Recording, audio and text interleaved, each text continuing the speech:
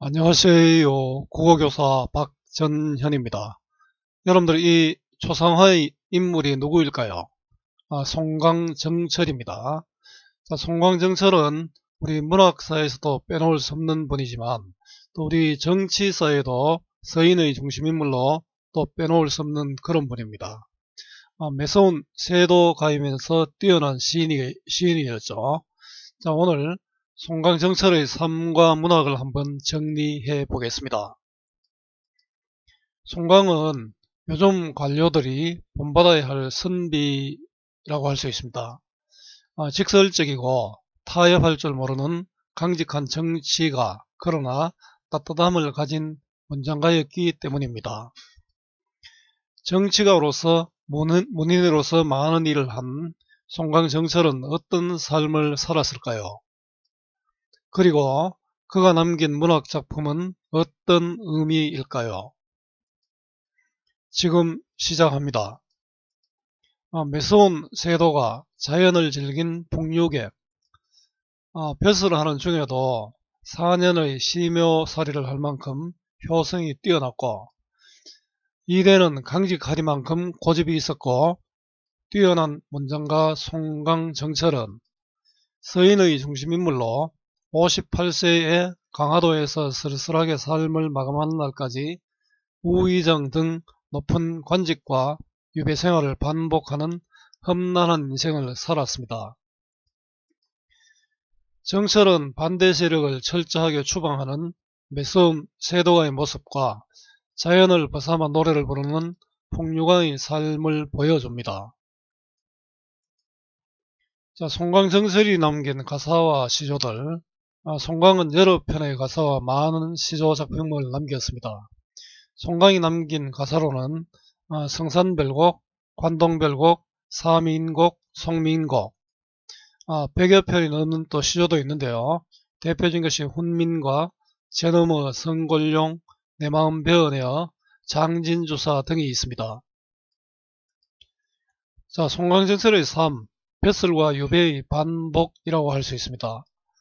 어, 우리 문학사의 큰 업적을 남긴 송광정철은 1536년 중종 31년에서 1593년 선조 26년까지 어, 조선 중기의 문신이면서 문장가였습니다.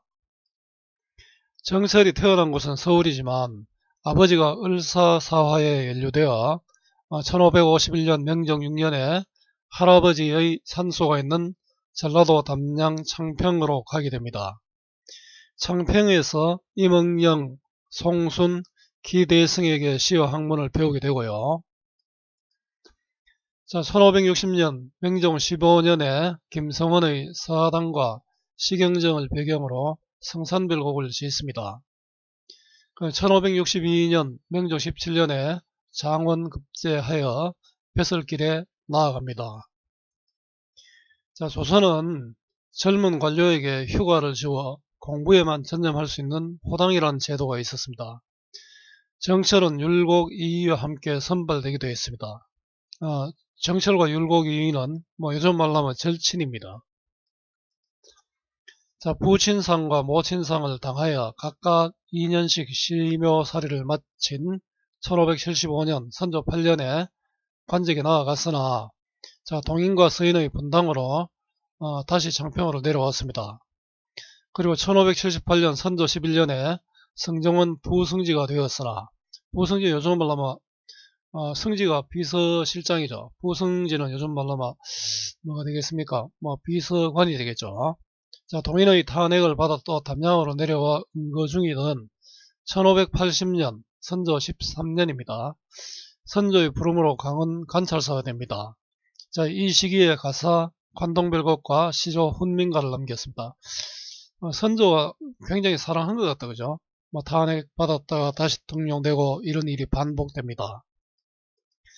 어, 관동별곡의 시작 부분이 정철의 당시 상황과 심정을 보여줍니다.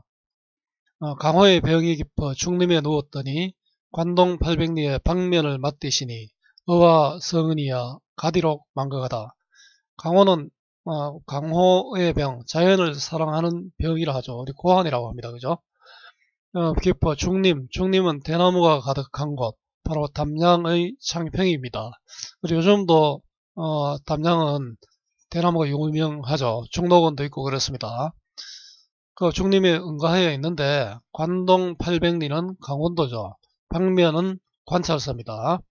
관찰사를 맡으시니 아 임금의 은혜야 너무나 어, 어, 만극하다. 끝이 없다. 자 이렇게 관동별국이 시작되고 있죠. 자, 그 후 전라도 관찰사, 함경도 관찰사를 지내다가 1585년 선조 18년에 또 탄핵을 받고 4년 동안 장평에 또 응거합니다. 이때 송강정을 짓고 어, 사민국과 송민국이라는 연군 가사를 또 남겼습니다. 52세인 1589년 선조 22년이죠. 우의정을 제수받아 또 동인을 탄핵, 동인의 탄핵을 받았지만 다음에 또 좌의정에 오릅니다. 그 56세인 어, 동인 이산해의 계략으로 선조의 노, 노염으로 파직되어 위리 안치되었습니다.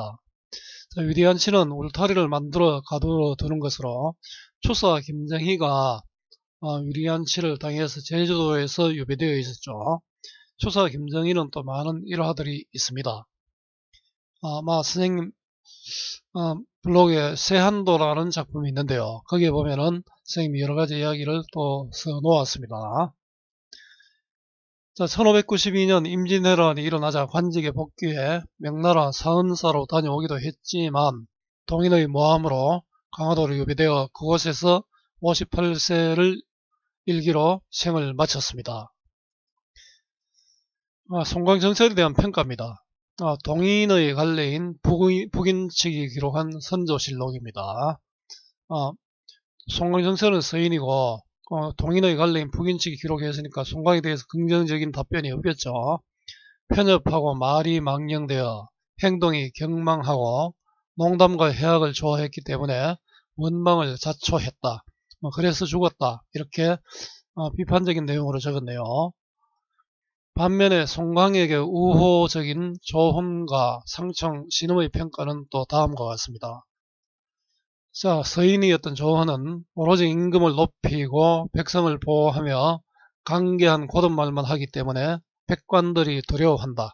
아주 광직한 선비였다. 이런 뜻이죠.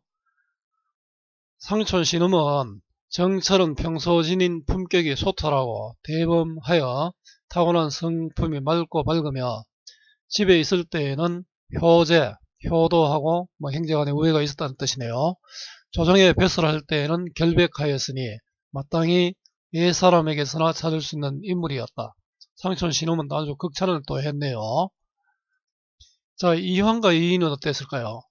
자, 서인의, 서인인 정철과 대립했던 동인의 태계 이황은 정철은 강직하고 청렴한 성품을 높이 평가하면서 간신, 간신은 간사한 신하가 아니고요. 임금에게 바른 말을 하는 신하라는 뜻입니다. 간신의 기질이 있다. 그 임금에게 바른 말을 많이 한 그런 사람이었다. 이렇게 평가를 했습니다. 어, 절친 율곡이인은 또 이렇게 이야기를 했습니다. 뭐 솔직한 마음을 많이 담았네요. 제발 선이 술을 끊도록 하고 말을 함부로 하는 버릇을 없애라. 아마 이런 의미에서는 상당히 송광정철이 어, 강직한 면이 있었던 것 같습니다. 자, 이런 면을 볼 때 송광은 누구보다도 탁월한 능력이 있었고 호방한 성격에 술을 좋아하면서도 꾸밈 없이 솔직하게 얘기하면서도 유머가 있었던 듯 합니다. 어, 그래서 또 좋은 문학 작품도 많이 남겼겠죠. 그래서 배설과 유배를 반복했고 그런 와중에도 그렇게 많은 작품들을 남겼을 것입니다. 자, 송광정철의 문학적 평가. 자, 서포 김만중의 글에서 볼 수 있는데요. 김만중은 서포 만필에서 사대부들의 시부보다 초동급부의 말이 더 낫다. 어, 이 말은 결국 뭐냐 하면 어려운 한, 한시보다 우리말로 하는 초동급부의 말이 보통 사람들 우리말이 더 낫다 이런 뜻이죠. 어, 우리나라의 참문장으로 세 편을 들었는데 사민곡, 송민곡, 관동별곡을 들었습니다. 어, 정서의 고려가요 정과정을 이어받은 충신연주지사인 사민곡은 고려가요 정서의 정과정을 이어받아 좀 반복되네요. 동방의 이소. 이소는 중국 초나라 구론이 유배, 어, 유배지에서 지은 작품으로 유배문학으로 불립니다. 아주 뛰어난 어, 유배문학 작품이다. 그죠? 어, 다음 작가별 찾기에서 송광정철의 작품을 만날 수 있습니다. 자, 지금도 몇몇 작품을 정리했지만 앞으로 그의 유적과 그의 작품을 새로 정리해서 보완해 나가겠습니다. 자, 여기 오시면 됩니다. 자, 고맙습니다. 아, 여러분 오늘 우리 문학사에서 또 우리 정치에서 큰 많은 일을 한 송광정철의 삶과 문학을 공부해 봤습니다. 아, 여러분들이 송광의 작품을 이해하는데 어, 도움이 되었으면 좋겠습니다. 수고 많았고요. 오늘 또 고맙습니다.